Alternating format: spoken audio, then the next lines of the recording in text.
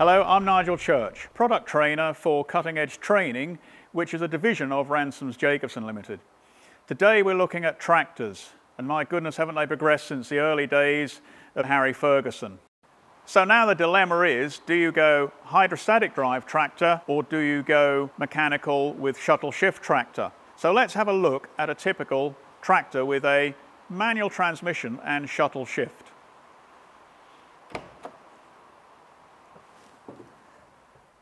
We're in the cab of the tractor now. The first thing that you may notice sometimes is that we have a flat floor. This makes it nice and easy to get in and out.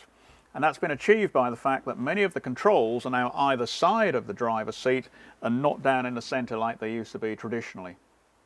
Secondly, we still have a conventional clutch to enable us to select our high, medium and low speed range in our transmission.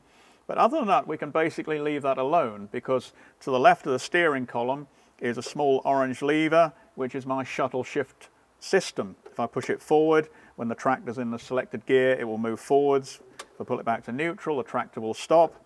I pull it backwards and the tractor will go in reverse. So I do not need to touch the clutch at all, making it very, very useful for loader work, etc., in those particularly arduous conditions of going backwards and forwards, which many years ago meant clutching and declutching all the time and moving a gear lever.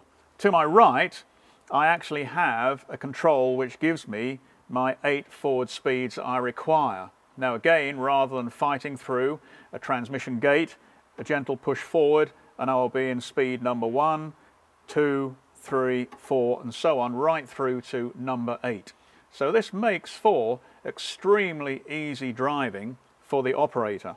Now the fact the transmission is mechanical in its background, it does mean of course that enabling to it to select a gear, whether it be in high, medium or low range, does give me a consistent speed at a particular engine RPM that I choose.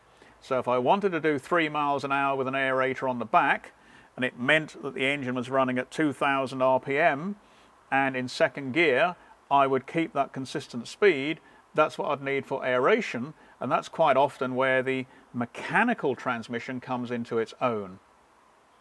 Traditionally, of course, all tractors have had a PTO, power takeoff system, to drive implements at the rear.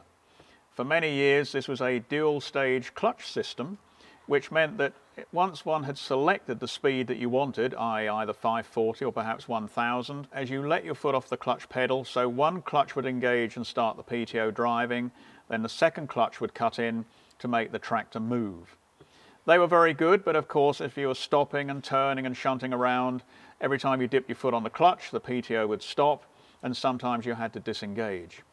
Many modern day tractors have done away with those systems. Whilst we still mechanically select the speed that we require, we now sometimes just turn a button inside the tractor cab and the PTO starts rotating.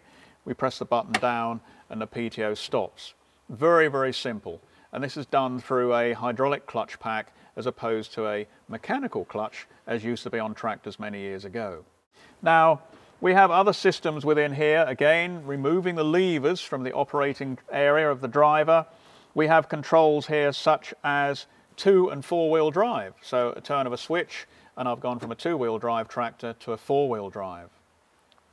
Bearing in mind that these tractors are often used in our industry in turf maintenance, and we are perhaps aerating or we're dragging something behind, there is another switch in here which when engaged, linked to the shuttle shift transmission means that when I reverse, the three-point linkage will lift the implement automatically, which again saves the operator thinking about what he has to do. He turns round, he lines himself up again, hits the lever, and the implement just goes down and re-engages in the ground. A very, very simple, easy to use system. We've now moved from a hydraulic shuttle shift tractor which, with mechanical transmission to one which has full hydrostatic transmission. Nothing new, hydrostatic transmission tractors have been around for many, many years and were certainly very useful when it comes to cutting grass and doing a lot of shunting and manoeuvring because of course we could just move a pedal one way or the other, we go forwards in one direction, reverse in the other. And very, very easy to use, particularly when cutting grass. However, they were never really much good for grounds maintenance when it came to ground engaging implements such as aerators that are being driven by the PTO because we needed to keep consistent speed for those operations, which of course a mechanical tractor always gave us. Whilst this tractor is hydrostatic drive and it has three speed ranges, it also has a transmission that's linked to the pedal which drives the tractor also increases the engine speed. So as we go to drive away, so the engine speed increases and the further we push the pedal down, the faster the tractor goes in conjunction with the engine speed. This is particularly good for driving the tractor around from A to B and doing just general duties. However, we can also control that operational speed extremely well by a system of buttons that I have here. Now, for example, say I was doing a ground engaging implement job and I have a nominal operating speed that I require, I would, as we always do, set the engine speed to give me the ground speed I require, and then I would flick on the cruise control. Once I flick the cruise control on, the tractor remembers that speed.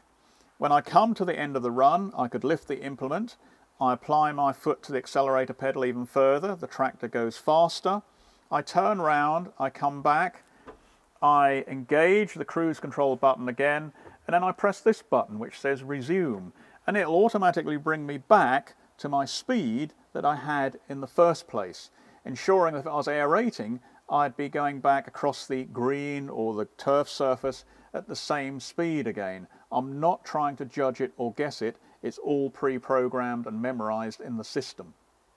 Now, hydrostatic drive tractors are of course extremely easy for those staff that you may employ that perhaps cannot control a mechanical transmission very easily.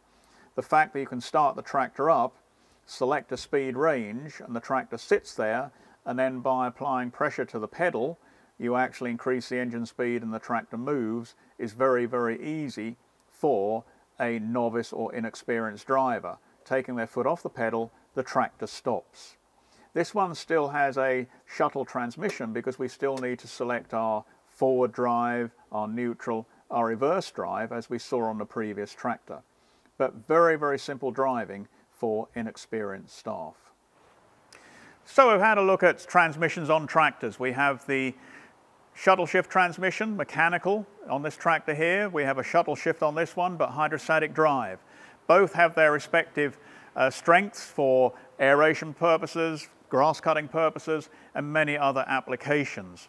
So Nothing stands still, there's always progression, but there's a multitude of choices, and you need to really look at what you require and what suits a particular application for the needs of your grounds maintenance practices and programs. Thank you.